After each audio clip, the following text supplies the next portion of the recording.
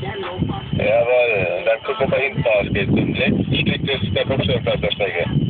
Schön gemütlich drauffahren, immer noch ruhig bleiben und jetzt Gas geben. Kräftig, komm. Ah, der will noch nicht hinten rausgehen. Nochmal versuchen.